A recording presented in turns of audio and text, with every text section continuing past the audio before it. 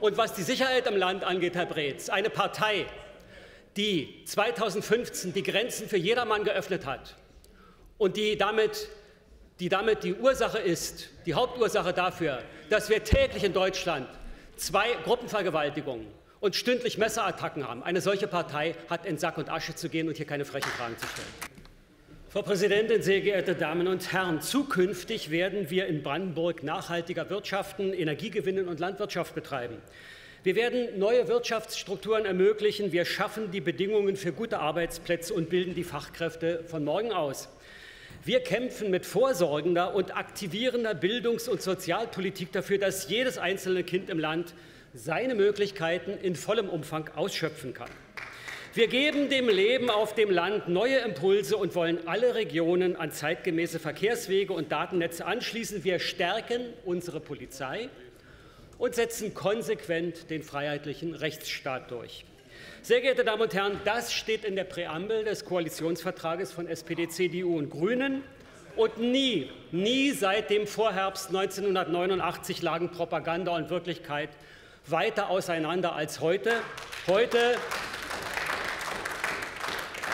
nach viereinhalb Jahren Kenia, nach elf Jahren Ministerpräsident und 30 Jahren Landtagsabgeordneter Dr. Dietmar Woidke. Und allein diese Doppelrolle, Herr Woidke, ist ein Beweis Ihres fehlenden persönlichen Mutes. Kein Wunder, dass Ihre Koalition den Anforderungen der Zeit nicht gerecht wird. Sie verschleudern das über Generationen angeschaffte und aufgebaute, und Sie verraten die 1989 errungenen politischen Freiheiten im Land. Und allein für das und allein für das, was vorgestern in Cottbus-Schnellwitz passierte, haben Sie, Herr Woidke, und Ihre ganze Koalition eine Abwahl am 22. September verdient.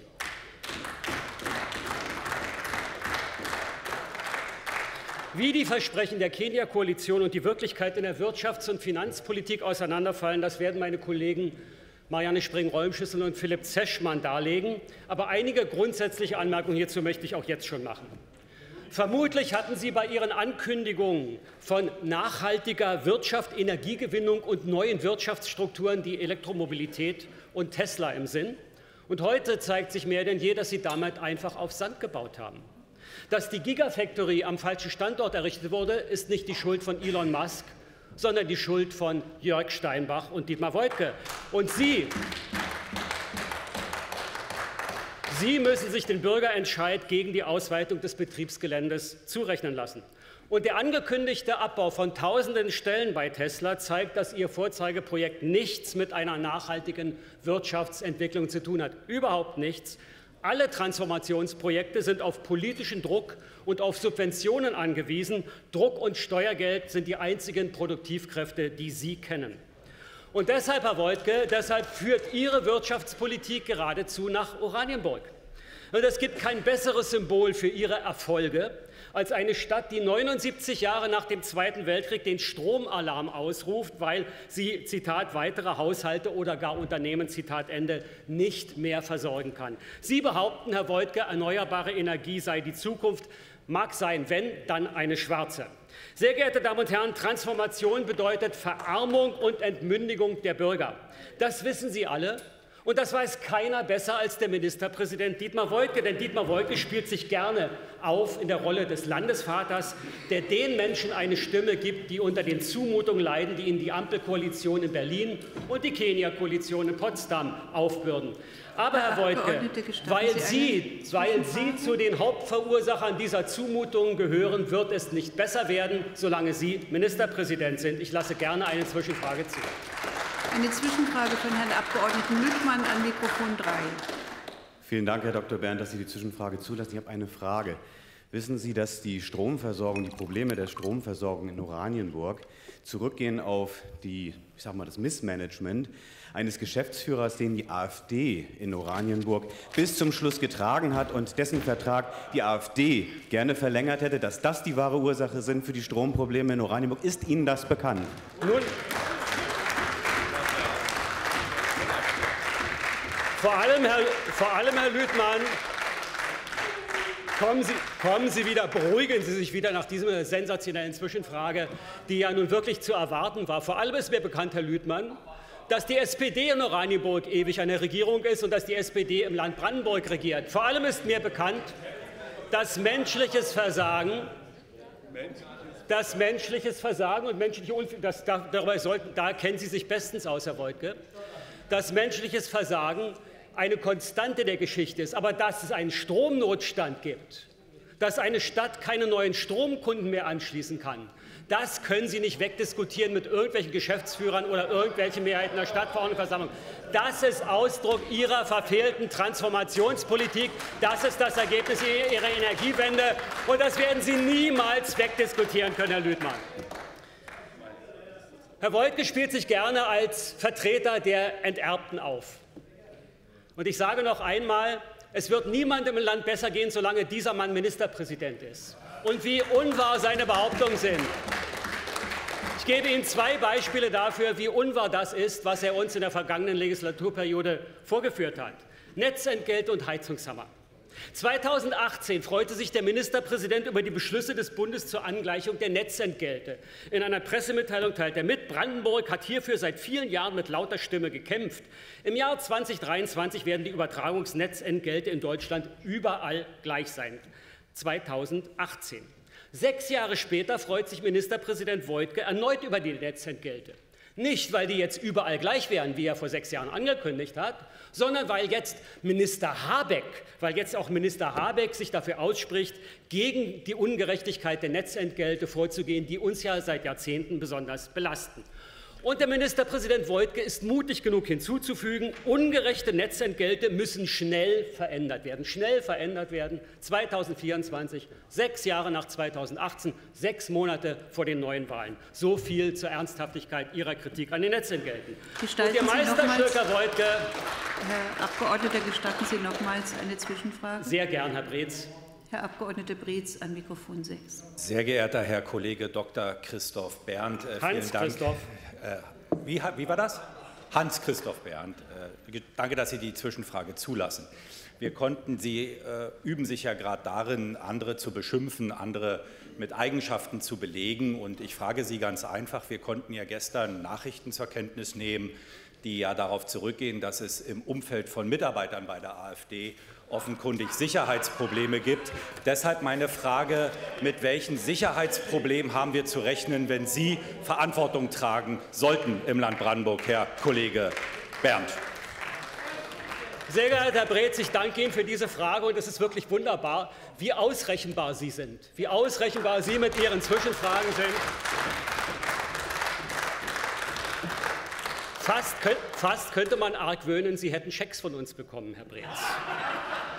Aber ich dementiere, Herr Breetz steht nicht auf unserer Gehaltsliste. Und was die Sicherheit im Land angeht, Herr Breetz, eine Partei, die 2015 die Grenzen für jedermann geöffnet hat und die damit, die damit die Ursache ist, die Hauptursache dafür, dass wir täglich in Deutschland zwei Gruppenvergewaltigungen und stündlich Messerattacken haben. Eine solche Partei hat in Sack und Asche zu gehen und hier keine frechen Fragen zu stellen. Ich sprach, von, ich, sprach, ich sprach von Herrn Wojtges Doppelzüngigkeit in puncto Netzentgelten, aber das Meisterstück in Sachen Wählertäuschung lieferte er beim Heizungshammer. Noch im August 2023 sagten Sie, Herr Wojtke, ich zitiere, wenn in einem Gesetzentwurf jede soziale Komponente fehlt und Oma Frieda denken muss, sie müsse nun eine Wärmepumpe in ihr 80 Jahre altes Haus einbauen lassen und ihm zusätzlich noch eine Werbedämmung verpassen und dafür insgesamt 150.000 Euro zahlen, dann ist das verheerend. Zitat Ende. Und Herr Redmann, Koalitionspartner CDU, sekundierte, das Gesetz sei, Zitat, richtig schlecht gemacht. Das sagten Sie. Und was taten Sie? Im Bundesrat enthielten Sie sich der Stimme und halfen damit, dass dieses Gesetz in Kraft treten konnte. Hätten Sie, mit, hätten Sie es mit Ihrer Kritik ein wenig ernst gemeint, dann hätten Sie sich Bayern anschließen können. Sie hätten dafür, darauf dringen können, dass der Vermittlungsausschuss angerufen wird. Und Sie, Herr Wojtke, Sie hätten Ihrem Parteifreund, dem Bundeskanzler Scholz, klarmachen können, dass Sie zur Not die Koalition in Brandenburg mit den Grünen aufkündigen, wenn dieses Gesetz durchkommt. Und ich wette, dieses Gesetz wäre nicht beschlossen. Sie haben nichts davon getan. Es war Ihnen einfach nicht ernst damit. Es war die pure, es war die pure Wählertäuschung, die pure Rosttäuscherei. Und nicht besser als mit Ihrer Wirtschafts- und Energiepolitik steht es um Ihre Bildungspolitik. Und dazu wird sich nachfolgend Dennis Holoch äußern, den der liebe Gott schuf, um diese Koalition zu strafen und unentwegt und unentwegt an die Schande zu erinnern, dass beinahe die Hälfte der Schüler in Brandenburg nicht lesen, schreiben und rechnen lernt. Und es spricht übrigens für Panik in der Kenia-Koalition. Es spricht für Panik in der Koalition, dass ausgerechnet Herr Woidke, der ja nun erwiesenermaßen nichts mit Bildung und Wissenschaft im Sinn hat, morgen zur Hochschulmedizin in Cottbus hier ans Pult treten wird. Sehr geehrte Damen und Herren, ich könnte noch Stunden über falsche Versprechungen und die Unaufrichtigkeit in dieser Koalition reden. Stichworte Brandenburg-Paket, Bezahlkarte oder etwa, oder etwa der Post von Jan Redmann WK vom 11. April 2024. Ich zitiere, weil er es wert ist. Die Erfahrung in Bayern zeigt, intensive Kontrollen in der Grenzregion sind ein wirksames Mittel gegen Schlepper, Schleuser und Schmuggler.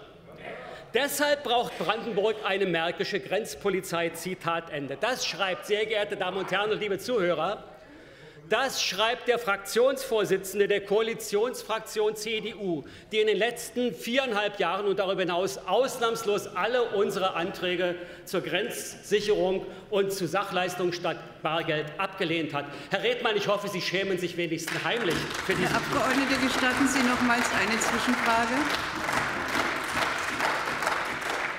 Ja. Herr Recht, Abgeordneter, recht, recht gern, Herr Stohn. Herr Abgeordneter Stohn, bitte an Mikrofon 3. Vielen Dank, Herr äh, Berndt. Sie haben gerade gesagt, dass äh, Herr Woidke nichts mit Wissenschaft am Hut hat. Wie erklären Sie denn bitte schön, dass in der Regierungszeit von Dietmar Woidke eine Hochschultreppe eingeführt wird, die die Grundfinanzierung jedes Jahr um 5 Millionen erhöht hat? Wie erklären Sie sich, dass wir die MAB fördern, dass wir einen neuen Zahnmedizinstudiengang haben, dass wir worüber wir morgen diskutieren werden. Danke für den Anteaser. Eine Unimedizin in die Lausitz bringen, die Transformation daran voranbringen. Für die Lausitz, für die Brandenburgerin den Ärztemangel klären und dafür 1,8 Milliarden sowohl vom Bund als auch vom Land in, den, in die Hand nehmen. Ich glaube, das ist eine ganz große Leistung. Wie erklären Sie das? Danke. Bitte schön. Vielen, vielen Dank für diese Kurzintervention in Form einer Zwischenfrage, Herr Stohn. Also erstmal halte ich fest. Brandenburg ist bekanntermaßen seit Jahren und Jahrzehnten Schlusslicht in der Bildungspolitik. Und seit Jahren und Jahrzehnten sitzt dieser Mann auf der Regierungsbank. Und er, ist, er gibt die Richtlinie der Politik vor und er ist der Hauptverantwortliche für die Bildungsmisere in Brandenburg. Was die Hochschullandschaft angeht, Herr Stohn, dazu werde ich morgen Stellung nehmen. Da werde ich aus dem Wissenschaftsrat zitieren, der einige interessante Anmerkungen zur Hochschulpolitik in Brandenburg gemacht hat. Die können Sie sich auch noch ins Stammbuch schreiben lassen. Sie sind ja derzeit Vorsitzender vom Ausschuss für Wissenschaft und Forschung, äh, amtierender Ausschussvorsitzender. In Wirklichkeit stünde dieser Ausschuss der AfD zu und dann würde es wahrscheinlich um die Wissenschaft besser stehen in Brandenburg. Ich wollte gerade sagen, Herr Stohn, ich wollte gerade sagen, ich wollte gerade ausführen, dass in puncto Wahrnehmungsstörung die, die Grünen uneinholbar vorne sind. Ich zweifle mittlerweile daran, wenn ich Sie höre. Aber auf alle Fälle ist die Redmann-CDU auf alle Fälle ist die Redmann-CDU auf Augenhöhe mit der Woidke-SPD, mit dem Herrn Ministerpräsidenten Woidke, der von einer liberalen Linie der Corona-Politik sprach. Eine liberale Linie. Alte mussten in Einsamkeit sterben. Kinder mussten zehn Stunden am Tag Masken tragen. Berufstätige mussten in der Kälte anstehen für sinnlose Corona-Tests. In, in, Wandlitz ist, in Wandlitz ist bei einem Polizeieinsatz ein Corona-Demonstrant ums Leben gekommen. Ungeimpfte wurden diskriminiert und die Impfschäden wurden systematisch vertuscht. Wenn man dann, Herr Woidke, von einer liberalen Linie spricht, dann hat man eine Überdosis Diktaturindus, und zwar eine kräftige Überdosis. Und deshalb vermutlich, Herr Woidke, Vermutlich, weil das so ist, halten Sie sich und Ihre SPD auch für eine politische Kraft, vor der die AfD zittert und regelrecht Angst hat, wie Sie vor zehn Tagen auf Ihrem Parteitag halluzinierten, Herr Woidke, halluzinierten. Aber so ist das halt. So ist das, wenn man in der kleinen DDR bald länger an der Macht ist als Erich Honecker und Inflation, Wohnungsmangel, Bürokratie, unzuverlässige Bahn und Migrantengewalt nicht als Nöte wahrnimmt. Herr Woidke, Sie nehmen all das nicht mehr als Not wahr. Sie haben sich der Wirklichkeit allzu weit entfernt. Sehr geehrte Damen und Herren, diese Koalition hat ein Ziel, Brandenburg zur Gewinnerregion im 21. Jahrhundert zu machen. Das ist der Anspruch, den wir haben und das ist der Anspruch, den ich habe. Wo kommt es her? Aus der Regierungserklärung vom Dezember 2019 Und man könnte lachen, man könnte lachen, wenn Sie nicht so viel Schaden angerichtet hätten. Auch Sie, Herr Breetz, als parlamentarischer Geschäftsführer der Koalitionsfraktion CDU, haben immensen Schaden in Brandenburg angerichtet. Und ich möchte wissen, mit welcher Zwischenfrage Sie das vertuschen wollen. Herr Abgeordneter, die Zwischenfragen lassen Sie zu. Und ich rufe Herrn Breetz auf an Mikrofon 6. Herr, Bitte schön. Herr Dr. Äh, Berndt, ich äh, würde gerne noch mal nachfragen, weil Sie auch wieder nur über andere sprechen und deshalb wenig über sich sagen. Äh, ich habe habe mal so ein paar Zitate von Kollegen der AfD und wollte Sie einfach mal wissen, wie Sie dazu stehen, um den Test anzulegen, äh, wie Sie denn mit Ihren eigenen Aussagen äh, umgehen. Ich zitiere mal der, der, der Reihe nach. Äh, unter anderem sagten AfD-Politiker, Bescheidenheit bei der Entsorgung von Personen ist unangebracht. Zitat Ende. Weiterhin sagten AfD-Politiker, Homosexuelle ins Gefängnis? Fragezeichen. Das, soll, das sollten wir in Deutschland auch machen. Ausrufezeichen. Äh, nächstes Zitat. Ich würde niemand verurteilen, der ein bewohntes Asylbewerberheim anzündet. Ausrufezeichen. Ich zitiere weiter. Wir sollten Herr eine Brett, SA gründen und aufräumen. Ich äh, zitiere nur, was Kollegen Ihrer Partei sagen, um Sie zu fragen, Herr Kollege Berndt, wie Sie dazu stehen, weil Sie anderen hier auch nur Vorwürfe machen. Deshalb meine Frage. Ich zitiere weiter. Drecksack Antifa-Kindern bekiffter Eltern gehört eine verpasst und sie in den Dreck geworfen. Ihnen gehört gedroht, dass sie das nächste Mal unter der Erde liegen. Ausrufezeichen. Es wird Weiteres jetzt ein bisschen Zitat. viel, was sich Herr Dr. Bernd merken müsste, um auf Jedenfalls, alles zu reagieren. ich schließe ab, Herr Dr. Bernd. Sind das Zitate von Mitgliedern Ihrer Partei, die sich AfD nennt?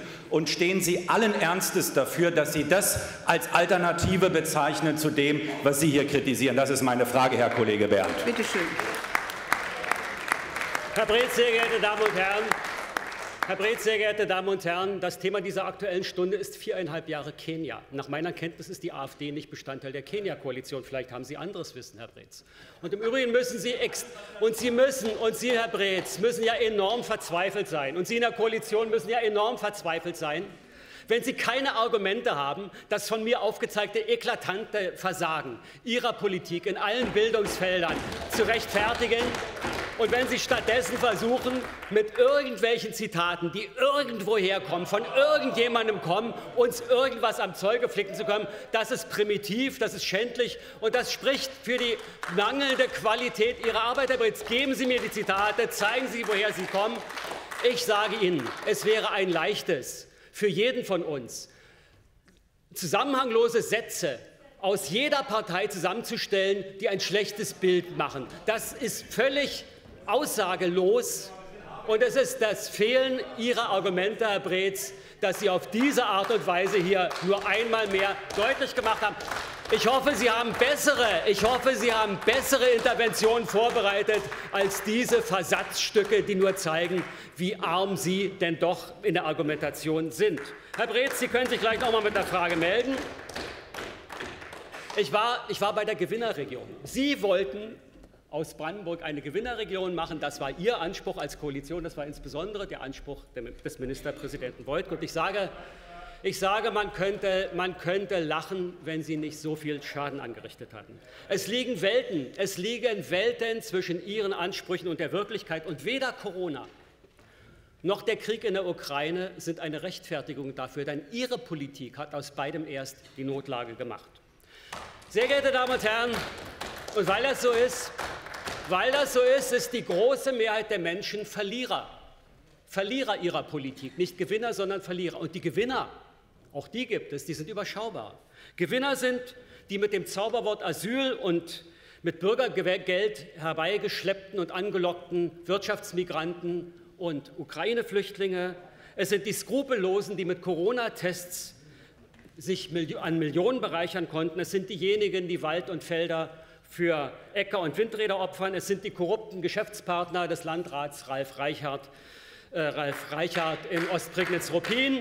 Es sind, es, sind, es sind Staatssekretärin Frau Dr. Töpfer, es sind Frau Polizeibeauftragte Gossmann-Reetz, es ist der Herr Landeshof Rechnungshofpräsident in Spee-Kümmel, SPD, SPD, CDU. Es ist das antideutsche Staatsfeld Ihrer Staatsparteien. Es ist der Verfassungsschutz, den Sie zur Gesinnungspolizei machen und wie keine zweite Behörde ausgebaut haben. Sehr geehrte Damen und Herren, das sind die Gewinner aber Brandenburg geht es schlechter. Brandenburg könnte es besser gehen, viel besser, wären Sie unseren Anträgen gefolgt. Dann wäre das Land sicherer, die Energiepreise wären niedriger, Kinder könnten lesen und schreiben, die Grenzen wären geschützt, Abschiebungen gäbe es nicht nur in den Sonntagsreden der CDU. Und die Bürger könnten frei und ohne Bevormundung durch den Verfassungsschutz ihre Wahlentscheidung treffen. Sie haben, das ist das Fazit von viereinhalb Jahren Kenia, Sie haben, und das in Rekordtempo, das Land schlechter gemacht. Das Fazit Ihrer Politik ist schlicht, Kenia gehört nicht nach Brandenburg, diese Koalition gehört abgewählt. Ich danke Ihnen für Ihre Aufmerksamkeit. Abonnieren Sie unseren Kanal. Die Links sind unten in der Videobeschreibung.